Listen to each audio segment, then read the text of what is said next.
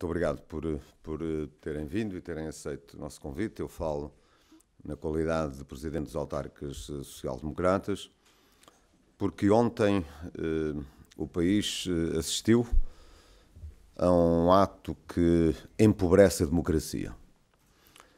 Na verdade, eh, quando uma administração da Caixa Geral de Depósitos, um banco público, se recusa a receber um eleito, um autarca, os autarcas, um presidente da Câmara, eleito pelo povo de Almeida, se recusa a receber um eleito com o argumento de que eh, não, pode, não podem recebê-lo porque está o povo concentrado na agência que a Caixa quer eh, encerrar, eu queria, desde logo, pedir à administração da Caixa de Depósitos que peça desculpa ao Presidente da Câmara de Almeida.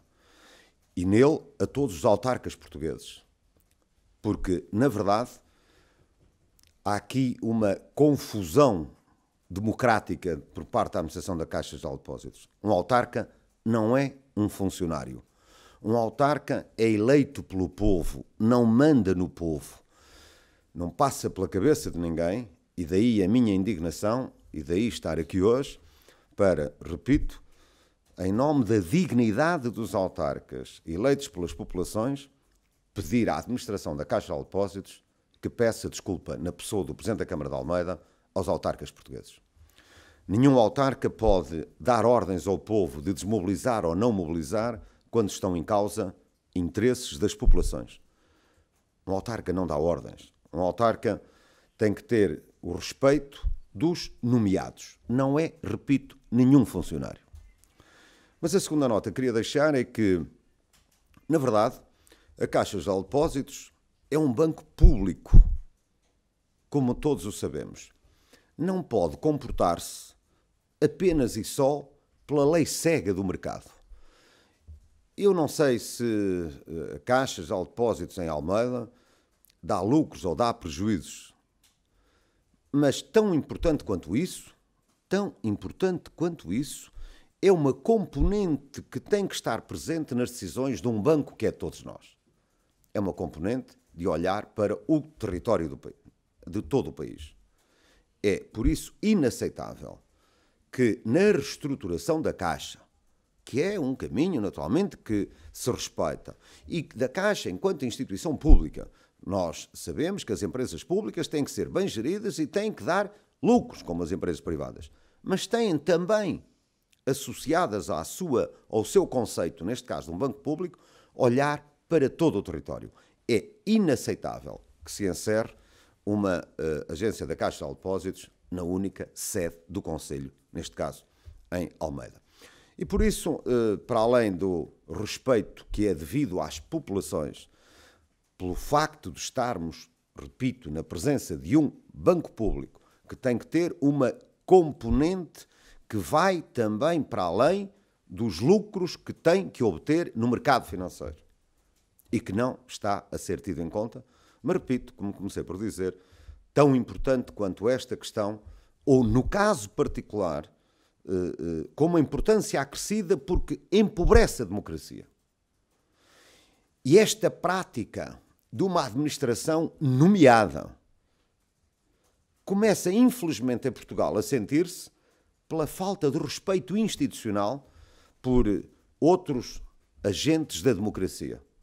E o que está a passar em Portugal é um sinal muito mau e aquilo que aconteceu com a administração da Caixa de Depósitos ontem eh, leva-nos a que aqui, daqui, nós eh, possamos dizer ao senhor, aos senhores membros do Conselho de Administração da Caixa que, repito, é devido um pedido de desculpas ao Presidente da Câmara de Almeida e nele ao comportamento desta administração para com os autarcas portugueses.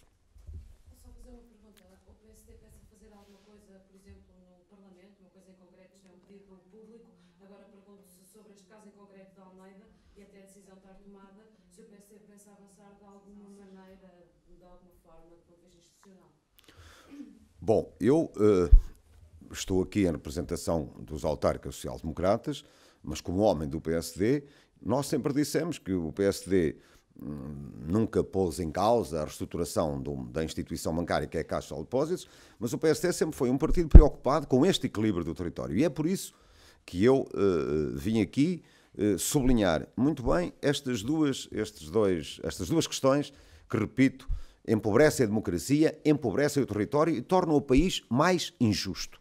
E estes são valores muito importantes para o PSD.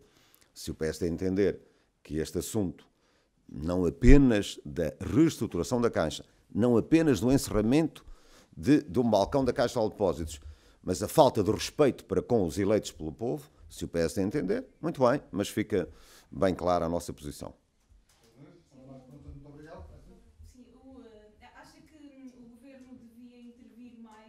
Eh, já veio dizer uh, que, embora a Caixa Geral de Depósitos seja um banco público, gerida como uma empresa e por isso não vai intervir. Pois é pena, porque quem nomeia a Caixa de Depósitos, a administração, é o governo, e se o governo lava as mãos como Pilatos em duas questões tão importantes que eu acabei de referir, uma, a componente pública, que naturalmente, como nós dissemos, o PSD também o disse, pelo facto de ser empresa pública, deve ser bem gerida, de modo a dar lucros. Nós estamos de acordo com isso. Mas essa é apenas uma questão. Há depois uma outra questão do um banco público não pode ter um comportamento pior que um banco privado. Encerra por encerra. Se não era caso para perguntarmos, queríamos saber quais são as agências que dão lucro e as que dão prejuízo. Ora, não pode ser apenas a visão do lucro e do prejuízo. Mas eu creio que o Sr. Primeiro-Ministro vai com certeza, não, não terá gostado, não, não sei se a percebeu ou não, mas daqui eu lhe deixo este, este repto, não terá gostado, com certeza, como ex-autarca, de não ver respeitado um autarca por uma administração que ele próprio nomeou. O que é absolutamente inaceitável é esta concessão que está a fazer um caminho perigoso para a nossa democracia de alguém que é nomeado à administração da Caixa, não respeita um eleito pelo povo, ainda por cima com o argumento que piora a situação. Qual é o argumento? O argumento é só, só recebemos se o povo sair em frente à, à Caixa de Depósitos de Almeida. Ora, um Presidente da Câmara não dá ordens ao povo. O Presidente da Câmara é eleito pelo povo. Há aqui uma falta de respeito de uma administração, de um banco que é de todos nós, para com os eleitos do povo e para com o povo de Almeida. Esta é uma questão essencial que, a não ser respeitada, e por isso o Sr. Primeiro-Ministro certamente que não terá gostado ou não terá percebido. Eh, eh, porque se a perceber, eu quero acreditar, já que mais não seja por ser ex-autarca, não creio que o Dr. António Costa, quando Presidente da Câmara de Lisboa, dava ordens ao povo de Lisboa. Não, com certeza que respeitava o povo de Lisboa. E eu espero que, respeitando o povo de Almeida, respeitando o país, tenha uma posição sobre esta questão que, repito, empobreceu a democracia. E nós não podemos aceitar isso. Mas volto também a dizer: se eh, não se interfere quando está em causa a justiça do território, então, então é razão para perguntarmos que comportamento é este de um banco que é de todos nós.